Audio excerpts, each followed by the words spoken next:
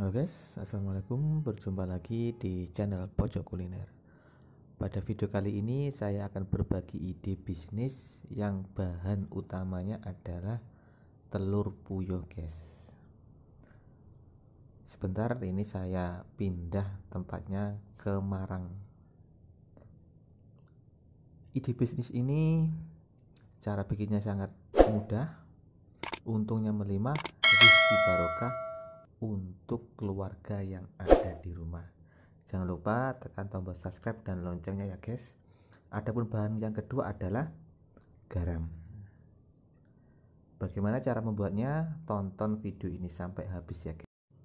Langkah yang pertama adalah telur ini kita rebus. Adapun tipsnya agar tidak pecah ketika direbus guys. Masukkan telur ketika air masih dingin seperti ini masukkan semua kalau sudah baru kita nyalakan kompornya. Selanjutnya kita masukkan garamnya guys. Kita masukkan garam secukupnya. Adapun manfaat garam di sini yang pertama agar telurnya ada rasa asinnya. Dan yang kedua garam ini sebagai pengawet alami setelah itu kita tutup. Tunggu sampai mendidih, guys. Lihat, guys, ada telur yang bergerak-gerak itu. Ketika mendidih seperti ini, guys, kita kecilkan apinya. Tujuannya agar telurnya tidak pecah.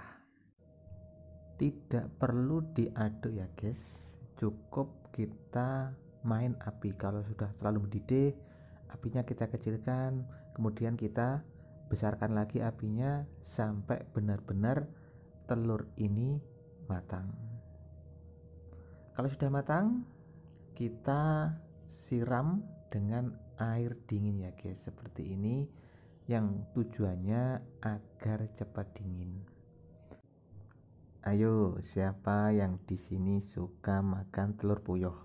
Tinggalkan komen di bawah ya, guys.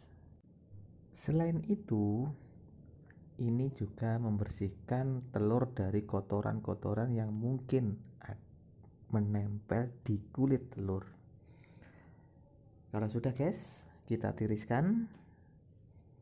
Kita masukkan lagi ke marang sini ya, guys. Kita buang dulu airnya. Setelah itu, telurnya kita pindahkan ke dalam marang ini. Tunggu telur sampai benar-benar dingin dan kulitnya sudah kering dari airnya guys. Setelah ini kita bungkus guys. Kita bungkus per bungkus 3 butir telur. Caranya seperti ini kita masukkan 3 butir telur kemudian ujungnya yang tengah kita sobek seperti ini. Kemudian kita tarik kemudian kita ikat guys kita ikatnya dua kali agar tidak lepas. Agar rapi ujungnya kita potong. Oke guys saya contohi satu kali lagi. Ambil plastik kita masukkan telurnya sebanyak tiga butir. Kemudian ujung yang tengah kita sobek. Kemudian kita tarik kita ikat dua kali. Kemudian kita potong agar rapi.